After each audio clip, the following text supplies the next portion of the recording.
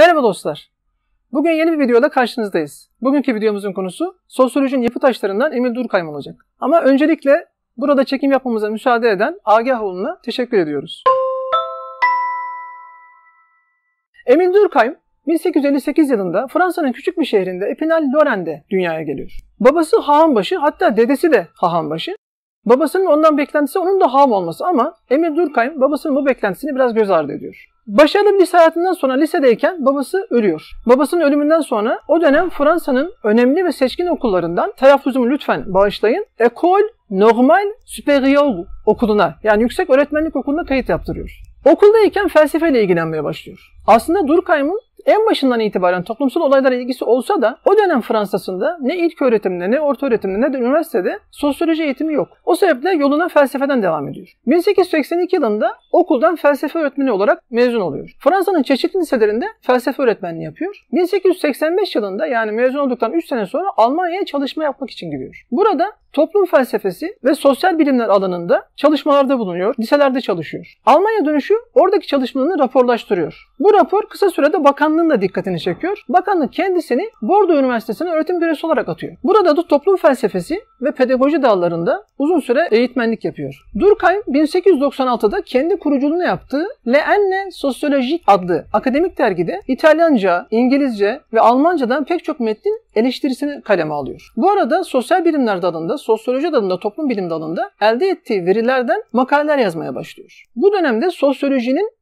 psikolojiden ayrılarak müstakil ve pozitif bir bilim olmasına gayret ediyor. 1902 yılına kadar Bordeaux Üniversitesi'nde çalıştıktan sonra Sorbon'a atanıyor. 4 yıl gibi kısa bir sürede Sorbon'da profesörlüğe yükseliyor ve artık kendi kürsüsüne sahip oluyor. Fakat bu kürsü pedagoji kürsüsü ve felsefe bölümüne bağlı. Yani müstakil bir sosyoloji kürsüsünün hala varlığından söz edemiyoruz. Fakat sosyolojinin ilk anlatıldığı, yüksek öğrenimde ilk anlatıldığı kürsü bu kürsüdür rahatlıkla diyebiliriz. Ve Durkheim'in gayretleri sonucunda 1913 yılında sosyoloji kürsüsü olarak kayıtlara geçiyor. 1900'lü yıllar Fransız sosyolojisinin hızla yükseldiği yıllar. Durkheim gelişen toplumsal olaylar, yükselmekte olan Fransız sosyolojisi ve milliyetçi akımlar içinde kendine bir yer ararken 1914 yılında Birinci Dünya Savaşı patlak veriyor. Savaş sırasında büyük bağlılıkla Fransa'ya hizmet etmeye gayret ettiği halde Yahudi olması hasebiyle Almanlara çalışabileceği ithamıyla suçlanıyor. Tabi bu suçlama Durkheim'de büyük üzüntüye sebebiyet veriyor. Tam bunun akabinde 1915 yılında tek oğlu Andre Balkan cephesinde savaşta ölüyor. Bu ikisinin üstte binmesiyle çok üzülen Durkheim belki de bu üzüntünü tesir ediyorlar. 1917 yılında henüz daha 59 yaşındayken hayata gözlerini umuyor. Durkheim'a sosyoloji dünyasında bu müstesna yeri sağlayan onun sosyolojiye özellikle metot noktasında sağladığı katkılar ve sosyolojinin bağımsız pozitif bir, bir bilim haline gelmesindeki gayretleridir. Onun toplum bilim yöntemi, toplumsal iş bölümü, din, ahlak, intihar gibi kavramlar üzerine yaptığı çalışmalar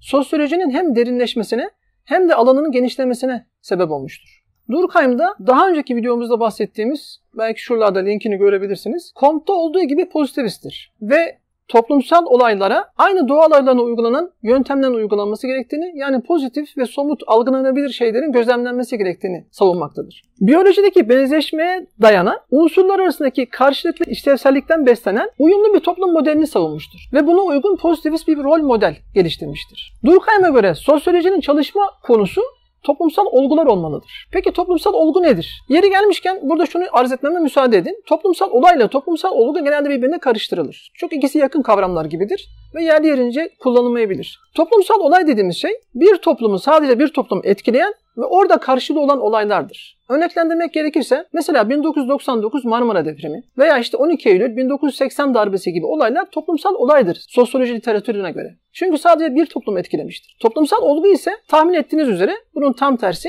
her toplumda karşılığı olan ve her toplumun etkileri görülebilen kavramlara toplumsal olgu diyoruz. Mesela din, mesela ahlak, mesela eğitim, mesela endüstri, mesela kentleşme, mesela intihar, mesela aile, aşk gibi kavramlar toplumsal olgu olarak ele almış. Durkheim da sosyolojinin bunları incelemesi gerektiğini üzerine tezini kurgulamıştır ve bu istikamette çalışmıştır. Peki toplumsal olguların özellikleri Durkheim'e göre nelerdir? Birincisi toplumsal olgular bireyleri indirgenemeyecek ölçüde bağımsızdır ve kolektiftir. Yani bireyin dışında varlığı, varlığa sahiptir. İkinci özelliği ise yine bu toplumsal olguların bireyler üzerinde kendini zorla kabul ettirebilme yetkisi vardır. Yani tabiri diğerle bireyler üzerinde baskıcı ve zorlayıcı bir yetkiye ve güce sahiptir toplumsal olgular. Durkheim bu toplumsal olguları açıklarken bir takım açıklama yöntemlerine başvurmuş olmuştur. Başlıca iki yöntem üzerine durmuştur. Bir tanesi nedensellik, diğeri de işlevsellik. Nedensellik dediğimiz şey bir toplumsal olgunun neden ortaya çıktığının ortaya konmasıdır. Yani bu toplumsal olgu başka bir toplumsal olgunun tetiklemesiyle veya sebep olmasıyla ortaya çıkmış olabilir. Öncelikle bu nedenin ortaya konması gerekir. İkinci yöntem ise işlevselliğidir. Hazır işlevsellik demişken işlevsellik ve yapısalcılık sosyolojik bir akımdır. Ana akımlardan bir tanesidir. Ve Durkheim işlevselciliğin öncülerinden kabul edilir. İşlevselcilik kaba taslak şu demektir. Her kavramı, her olguyu, her kurumu toplumun düzenini sağlamada, toplumsal birliği kurmada işlevsel mi değil mi noktasında inceler. Toplumsal olguları da bu işlevselliği noktasında incelenmesi gerektiğini ve araştırma yönteminin bu olması gerektiğinin altını çizmiştir Durkheim.